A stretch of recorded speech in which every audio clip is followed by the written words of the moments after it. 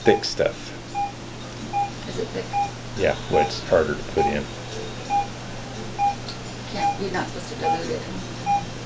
Oh yeah, I mean you don't dilute it in the syringe, but Oh, you dilute it. you can mix yeah. with the other stuff, you know. I see. That's the lesson. I asked Greg about that. He Oh, yeah.